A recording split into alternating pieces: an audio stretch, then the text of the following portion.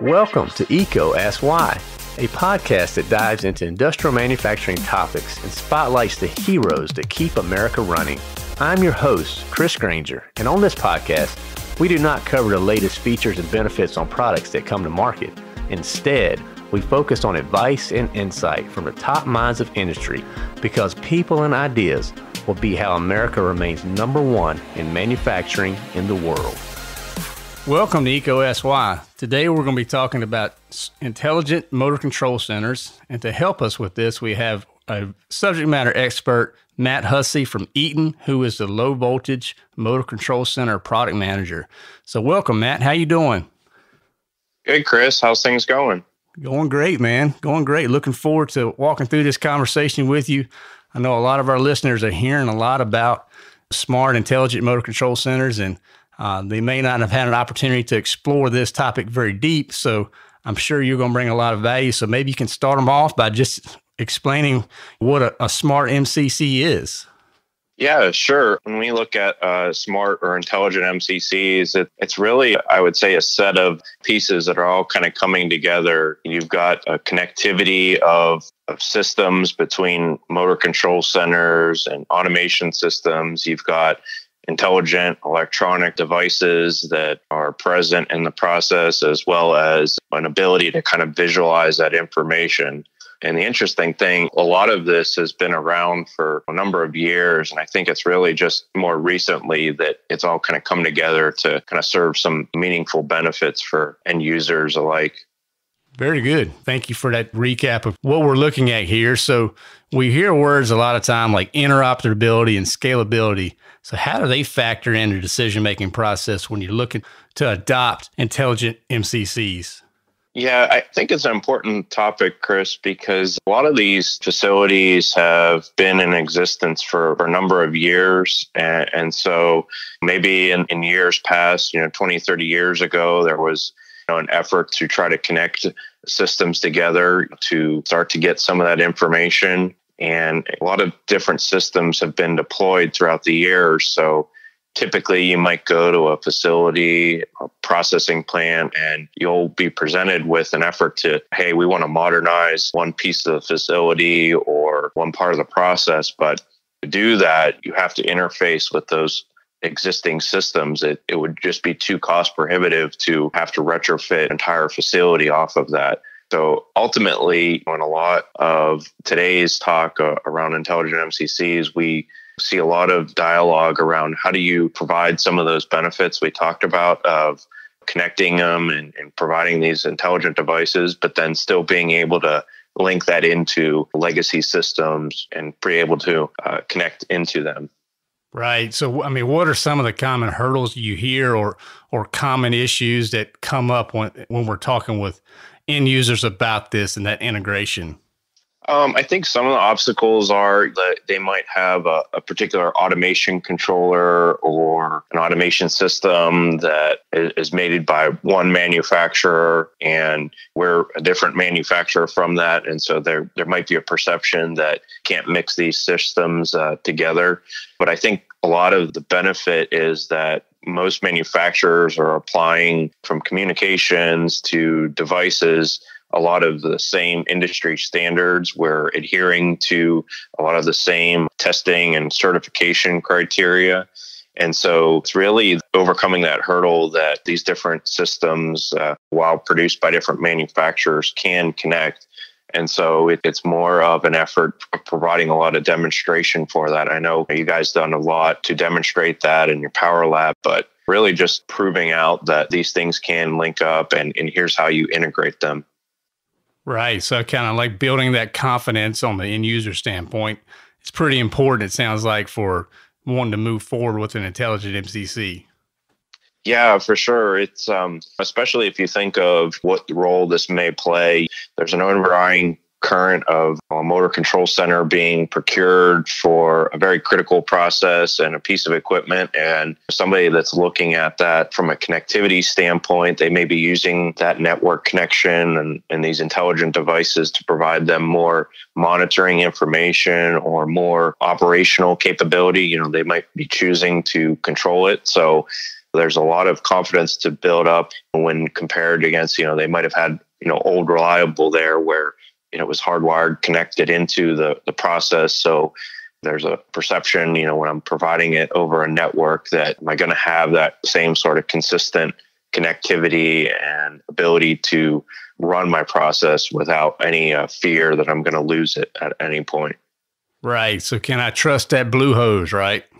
For sure. You know, one individual, we worked on a, a, project and he had begun to consider this. It was actually for a distillery and it was a master electrician and worked out. He saw a lot of the benefits of just even the installation and labor costs of reducing all that physical hardwire. And he had recalled at one point during the replacement of the MCCs, he was cutting into the conduit with a sawzall that had all the physical uh, hardwired connections. And after severing through it and seeing a bundle of hundreds of conductors, he kind of looked at, across the room and was like, "Well, no uh, turning back now." Yeah, that's right. At that point, you're you are officially committed, right? Yep. Yeah, I really appreciate that, man. I think it helped understand a lot because interoperability is very important, and you really helped connect some dots there. And I've I've heard you speak in the past, and I thought this is a, would be a great opportunity for you to talk about the pillars of intelligent MCCs. Can you explain to our listeners what those categories are?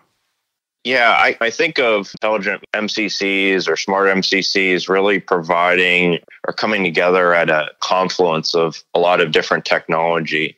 I'd say for, first and foremost, a lot of this is, uh, you know, you got to have the problem statement of why you are, are, trying to achieve something. You know, is it I'm currently working on a piece of machinery that over time might fatigue and fail and, and i need to be able to see what happens or some of this also goes into is there another team that might benefit from this added connectivity? I think typically when we think about automation systems where we're thinking about those that are in the control room and the ability to monitor it there but there's so many other teams on the operation side and, and maintenance that could benefit from this added information. They might be able to more easily interrogate what's going on in the process from an operation standpoint or from an electrician that might be responsible for this equipment. It might provide them the ability to more easily identify when a piece of equipment is coming up on a maintenance interval rather than having to, to work around an unplanned downtime event. So I think that's one key part of it is really kind of defining some problems or things that we're trying to solve. I'd say another pillar of this is connectivity strategy. How are we going to connect these systems? Are, are we going to use this information to monitor or are we going to use it to actually control or, or a little bit of both? I, I think it's an important decision because you may still have a facility that wants in the process of connecting uh, still an ability to control via traditional means, maybe some local stations for operators so that they can do their thing or maybe easily transition into a network control. Additionally, with a lot of the communication hardware becoming a lot more homogenized, there's this talk around uh, IT OT convergence. Uh, so it's also working with those teams to understand how do we integrate this into our system so we can achieve the same goals and visualize this information elsewhere while also not invalidating any kind of cybersecurity threats or reliability of the network. There's an important part where even the IT professionals need to be engaged so that things like how many IP addresses are we going to have? How are we going to be able to manage that from a network traffic that really needs to be considered? And I think one core piece of this for intelligent MCCs also revolves around the devices that are actually giving this information. Um, you used to have traditional motor protection built around a, a simple overcurrent bimetallic relay that would trip uh, once it became overloaded, where nowadays you've got so much more data available from being able to pull things like phase voltages and power and a lot more other status signals. And so these intelligent devices have a lot of great deal of capability and it's, it's really kind of another key piece of this because it's a determining factor on, you know, there's a lot of different offerings in there. And so how do you find the right one? In a lot of facilities, it may be an electrician that is accustomed to simply resetting a device and now is presented with a multifunction programmable relay. So it's an important aspect to how do you make that very simple and be useful for even those operators as well. You're changing the role of somebody that on a day to day basis might have a multimeter in their hand and now has the ability to interrogate something with their phone. So eh, it's an important topic to even consider how we're going to use the devices that have this sort of intelligence capability and what sort of problems can they help solve. And then, uh, really, lastly, when I think of intelligent MCCs, I think of a, a last pillar around how is this going to be visualized. This information is traditionally viewed in automation control rooms for the needs of ensuring the process is running, but I think there's also an ability to consider, especially with some of the streamlining of the connectivity, this data can be presented in a lot more different avenues. So, can it be visualized local to the equipment or from a, an electrical maintenance room where those operators can see maybe sometimes the same data that is important for operating of the process, but maybe it's presented a little bit differently so that those operators can interface with it and identify a maintenance interval or or maybe putting that visualization in the hands of different uh, personnel that might use this to identify a, a prevailing condition that leads to a, a downtime event. So I think those kind of build together as a pillar around intelligent MCCs. But each one of those, if you look at them individually, you know, probably equally progressed throughout time. And it's really how they're all kind of coming together that that really makes a you know, valuable addition to any facility. Absolutely, no doubt, Matt. I mean, the just from where you started from the problem statement, you know, just understanding what they're trying to solve, that connectivity strategy that crosses the road right between IT and OT. We have to get, we have to have that conversation. We have to have a, a fundamental understanding how to do that, and then the devices themselves. Because you're right, man. Uh, the days of a multimeter are kind of shifting to where you could actually do a lot of this with your iPhone and depending on the type of device, a lot of Bluetooth type connectivity type things. So all that stuff is integrated in these MCCs. And the last part, the, from a visualization standpoint, is one that we get super excited about because we've seen the cool things that end users can do with the data, and that takes a safety to a whole nother level as well. Where, where they don't have to be in front of that piece of equipment for particular types of information. That all can be put together in one central location and utilize it for, from a safe plant standpoint. So thank you for walking through those pillars. And, and one thing that we've talked about on Asks Why with a, a couple different topics is is Ethernet. And Ethernet keeps popping up, you know, more and more, eh, particularly in, in the United States. We're seeing the adoption. You know, people are, are using it more. Uh, it's it's being specified in the projects. So how has that adoption impacted intelligent motor control centers and, and people willing to specify those? Oh, yeah. Communications themselves have been present in motor control centers for going on 30 plus years. So, this isn't really our, our first foray into connecting systems together. As I mentioned, really, this kind of widespread adoption really came apart back in the early 90s with the Open DeviceNet Vendors Association or ODVA being formed and developing a, a ruggedized communication media and protocol for installing into things like motor control centers. A lot of value back then is still present today where you can reduce that kind of uh, installation and labor wire savings but I think also at the same time, we had some unique hardware that was being deployed off of a lot of serial protocols. Additionally, we're having to overcome limitations. Back then, there were certain quantity of devices and, and messages that can be sent over a given period. So, really kind of limited the scalability of that system. And again, it was a first foray where you're really kind of industrializing it, but I think when we look at today with just even the fact that how many devices we have in our homes and vehicles where nearly everything has an, an, available ethernet port today you're you're dealing with something that has a much more economy of scale. And so a lot of the hardware is becoming much more cost effective to implement.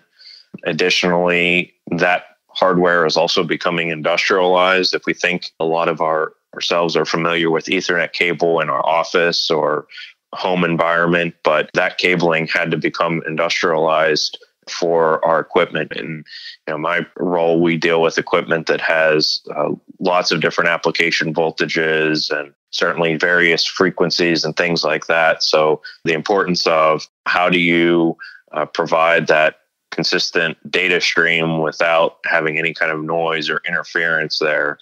Additionally, I think the advent of a lot of this information, while given over virtual means, for lack of a better term, is also being able to complement with various status signals. You know, so how do you incorporate some additional I/O that can then be visualized over the network? You know, really simply troubleshoot it. I mean, we we've gone to you know various installations where you also have to consider the changing of the workforce. Many of today's uh, engineers and electricians are, are, are those that have come up in this era of the internet. And, and so the things, the tools, the mechanisms that they've accumulated over their uh, childhood and life are, are built around a Ethernet troubleshooting mindset. So there's also a recognition that even those uh, legacy communication systems, while probably still valid and could still be maintained, you're also dealing with a changing of the demographic that is also able to work on it as well. I think all this is kind of fueling in that, hey, we, we've got a lot of capabilities on industrial Ethernet. Certainly, many of the systems are now able to interface with each other. So when you talk about visualizations, Chris, the, the fact that you can provide that information to an operator at an HMI because that same system that that HMI is connected to is on the same Ethernet plane that an automation controller speaking Ethernet IP has provides a lot of powerful insight. I think it's really helping provide that right amount of information to the right person at the right time.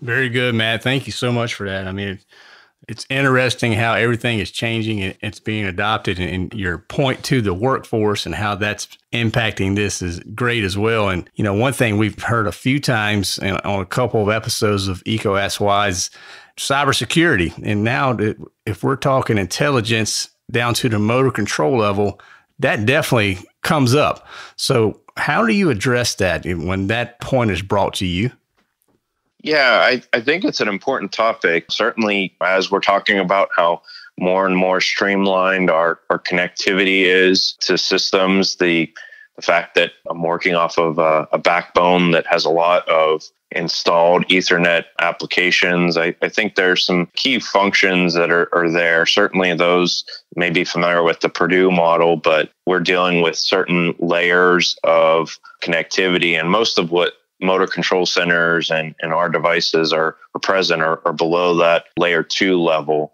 And so what you're seeing is a lot of the, the IT systems that we're interfacing with can introduce different mechanisms that really trying to minimize those threat vectors. So I think one common topic that we see is this cybersecurity should be built upon a defense in depth strategy. So there's a lot of different angles. You may hear it talked about as the various slices of Swiss cheese kind of stacked upon each other where you can't have one entrance. You'll see typically those those things can be deployed like mechanisms in in the MCCs themselves where features and the ethernet switches can be enacted to minimize you you might have an operator coming up to for for lack of a better term just trying to look at or visualize the what's going on in the MCC could be innocent, but once to connect, plug into an Ethernet port, you can do some things like access control there, so that if that's not the intended uh, way to get access to that information, those ports can be turned off. You can also do things like minimizing the type of traffic that is connected between the MCC and the automation system so that only the appropriate and essential process messaging exists between those two. You'll you'll sometimes hear of terms like a demilitarized zone that exists between that system and the upstream uh, network. I think as a whole, as you mentioned, there's a from an IT side, there's a lot of mechanisms that are, are present there. And certainly, as our operations equipment are, are becoming plugged in, there's a, not a one size fits all tool that, that covers it all, but certainly a host of, of different uh, layers that can be enacted to you know, really help uh, minimize any risks due to cybersecurity. No doubt, man. No doubt. And, and I know our users are they're learning more about cybersecurity. We have several guests that have that are speaking on this topic extensively, and it's something we don't take lightly. So I appreciate you, Matt, you, you walking us through that. Now let's get to some fun stuff. When you're talking about smart, intelligent MCCs, there's some really cool devices that are now being used inside. What give our listeners an idea what some of those uh, new devices would be? Yeah, for sure. I kind of mentioned a little bit earlier, but your traditional motor overloads uh, have have certainly come a long way since being a, simple overcurrent device. In, in, that area, you you see uh, those devices being able to almost act like miniaturized logic controllers themselves, but also be able to pull a lot more meaningful data the advent of motor protection has evolved not only to just looking at phase currents for issues, but also how do we even tap into the rest of the power signature that it sees? So you might be looking at various phase voltages or phase power consumption. And through that, you can actually uh, look at different algorithms to detect things like a dry running pump or an overspeeding uh, conveyor and, and, and catch that before it creates a, a more problematic issue. The other really cool thing is that across the spectrum of these devices, while there's certainly some advanced capabilities in in some of the uh, more featured uh, devices, even the the simplest of, of protection overloads have that sort of network connectivity. So, for somebody that might just be coming in or off of a uh, of a, a, workforce that is accustomed to a uh, very simple overcurrent device and there's some interest in uh, you know getting some protection and, and being able to visualize that over the network. Even for them, there's a solution that even those simple devices can be connected, really kind of softening that uh, learning curve for any issues that uh, may occur as, as they make their progression in in this journey on a, an intelligent path. So it's really um, at all levels some really cool stuff that provides a lot more access for anybody that uh, is considering this. No doubt, man. Thank you for that. And when you have all that new technology, that new type of equipment, that gives you access to data that we haven't really tapped into a lot in the past, and it's now it's at the t- uh, tip of our fingertips. So it's really exciting time. I'm sure it is inside the plant to see these smart MCCs being built and the types of uh, integration and devices that are going into them. And in one area I know we're we're really big on it is the visualization. Not just because visualization is cool, but also from a safety standpoint. So could you give our listeners maybe what should they expect or what could they get out of uh, a visualization strategy with a smart, intelligent motor control center? Yeah, I, I, think you'll find that there's a lot of different ways it can be visualized. Traditionally, we, we think of it in terms of being able to see that and monitor it from a process standpoint. But I think as we look at motor control centers, there's an effort towards those that are tasked with keeping them running or or maintaining it over the lifespan of the equipment. And if we think about all the tasks that are present for doing that and, and troubleshooting and things like that, sometimes it's it's a matter of do those intelligent devices support a localized HMI that might be mounted on the cubicle to provide that information and while that may seem non-essential for somebody that hey I see that information in the control room it provides another access point for that operator or maintenance professional that they've had that particular load uh, trip and they are going to reset it. But with that localized interface, they can actually see some various parameters and conditions that were present when it tripped. So if you think about it from a troubleshooting standpoint, maybe historically that would have just been a, a reset button and and the ability for you to really identify what occurred. You might go through several resets before you pinpoint what the issue is. Uh, additionally, I think, as you mentioned, Chris, there's a safety piece of this too, where in some instances that troubleshooting might get to a point where that operator or electrician feels that there's something that's been miswired or, or, something not connected correctly. So they have to open the cubicle to get into the equipment to identify. And that may be a, in a situation where that equipment's energized. So how do you uh, ensure things from an arc flash standpoint that you're appropriately suited for that scenario really increasing that risk from an electrical safety standpoint. So I think even just thinking about it from a device level, the the added benefit of uh, a localized display there really kind of helps offset or minimize that type of risk uh, that they could be exposed to.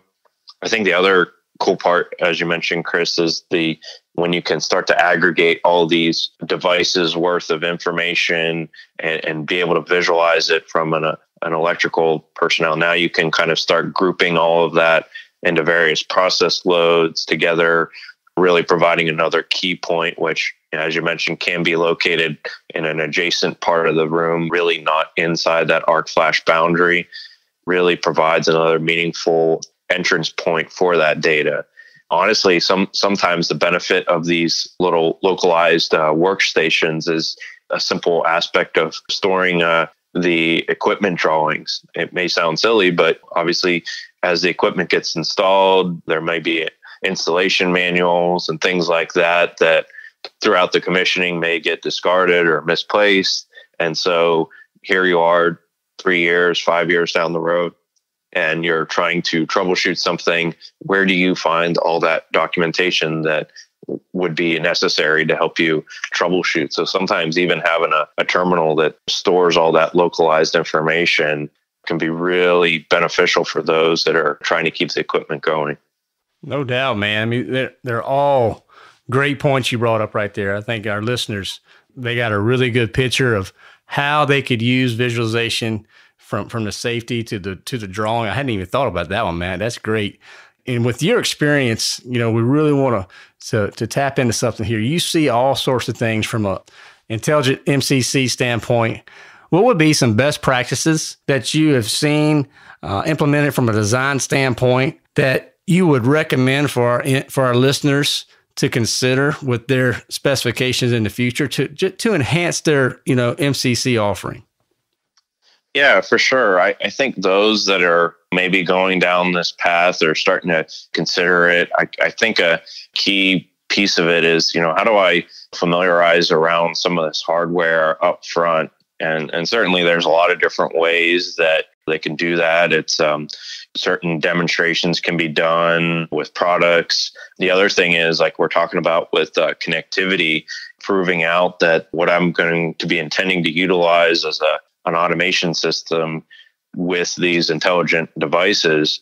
Uh, can I connect those things up front and plan around an offline uh, familiarization of that, show how it integrates, see how that's going to be done, really to kind of minimize that concern or fear that I might have to do that during the commissioning phase. And I'm, I'm not sure I'm comfortable with doing that. I might be comfortable with other devices, but I'm not willing to take on that risk. So I think just the the overarching uh, compassing of, trying to familiarize around the hardware up front is a, is a real key step.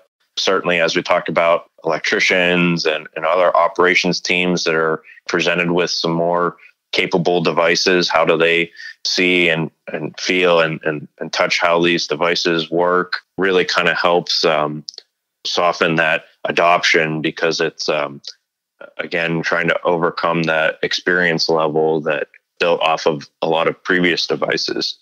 I think another key part of it, and this may be overlooked at times, is as you're going throughout the project at a, at a facility, oftentimes we spend a lot of time up front designing, specifying the equipment, and considering all aspects of what it will ultimately become once it's uh, construction and installed. And it's a very lengthy timeline in that process. So you think about the various uh, bill of material buildup, the drawing creation, the approvals, and things like that, to ultimately constructing the equipment. You may, at a certain point, have a facility that would come to a, a site to inspect the equipment at the factory.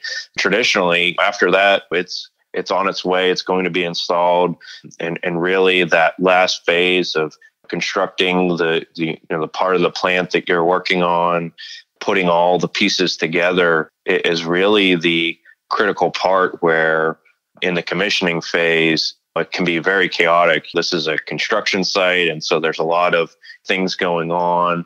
And, and so it can be very challenging, especially when you start to layer in I'm going to have some devices that are connected. Maybe I'm going, previously, I might be uh, wiring all these signals back. And so there's a lot of time spent in that commissioning phase. Um, I'm sure, Chris, you've probably been a part of it yourselves, but these things can take weeks and or certainly all hours of the day trying to troubleshoot that. I think one cool part of this advent of intelligent MCCs is that a lot of that commissioning phase can be incorporated much more early on in the process. So when we talk about all these uh, devices that may have different IP addresses, those things can be pre-configured. We can look at specific protections and motor parameter information. A lot of that can be inputted up front and really validating that the system's connecting before I have everything uh, on site installed so that really when I get into that commissioning phase, I, have taken off a lot of that work uh, that I might have had to done earlier because I've incorporated it in the design phase. So I think that's a critical step that we've seen some users take advantage of. Certainly can really help with some of the offline commissioning uh, and trying to do it in an area and an environment where you have all that information at your fingertips rather than being on site trying to run around and, and locate that where might not be convenient. No doubt, Matt. Thank you for that. I mean, I think you brought some very good points from your experience. I mean, you, you hit on so many great areas right there. And that commissioning piece is a big is a big one. You know, so much like work, like you said, can be done up front. And uh, you know, that that cannot be overlooked. So Matt, we, we call this EECO Ask Why. We always like to wrap these uh, episodes up with the why you know, the purpose. So if you had to answer that, you know, why should industrial end users, why should they consider intelligent motor control centers in the future? It's interesting time in this day and age, like thinking around how we're uh, reacting to it. I, th- I, think one of the, the very cool um, quotes I've seen in the past, this was asked, you know, a number of years ago from a previous uh, prime minister in the UK, and he was asked what is uh, most likely to be the cause of what derails his uh, government or, or set his uh, tenure off course. And he quite simply replied, uh, events, events, dear boy. And I think there's a lot of meaning that can be taken from that is that in our current jobs and our current climate, we've got a lot of things going on and we're always trying to improve. And so many of those things we can anticipate. You know, certainly in an industrial facility, there's an effort every day to kind of look for new ways to identify and improve our processes and, and make sure that we're ensuring reliability of our electrical infrastructure. Um, but obviously, there's many more situations that we can't anticipate. I, I mean, uh, you know, given our current climate our current situation with you know coronavirus and things like that, there's certainly a lot of things that we can't anticipate. So, I think when we talk about intelligent MCCs, it's uh, maybe not trying to provide uh, uh, something that is going to substitute what we can already anticipate, but maybe add to it the things that we can't the ability to kind of go back and, and analyze it because there's that much more information and, and I think that's really a, a, difference in how we react to these scenarios. You know, I, I, go back to some of those examples where we are in a situation where certainly we're solving a lot of problems each and every day, but that may occur over a lengthy period of time. It may be putting an operator at a more increased electrical risk and, and, and, if I think about it now, it's, it's changing the way that somebody interfaces it. That if we could offset that into a much shorter duration or prevent that operator from getting into that more compromising electrical uh, safety uh, scenario, I, I think that's really shifting really, you know, what we think is the status quo. And I, and I think we're a key part of that in, in how we implement a lot of these intelligent MCCs. Absolutely, Matt. Thank you so much. That was a great, great summary on, on the why, on the importance. I loved how you tied safety back into that. You know, Matt, you have so much experience in this realm, and I know you've brought our listeners a ton of value. Uh, they'll definitely you know, start considering their, their specifications on their motor control centers. And uh, this is a, a great time and a great opportunity to, to enhance that. And, and there are a lot of, of really cool solutions out there. So, Matt, thank you for walking through this topic with us. And I really appreciate your time today. No problem. I'm glad uh, to be on it. Thanks for having me. Thank you for listening to EECO Ask Why. This show is supported ad free by Electrical Equipment Company. EECO is redefining the expectations of an electrical distributor by placing people and ideas before products. Please subscribe and share with your colleagues and friends. Also, leave comments, feedback, and any new topics that you would like to hear. To learn more or to share your insights, visit eecoaskswhy.com. That's E E C O A S K S W H Y.com.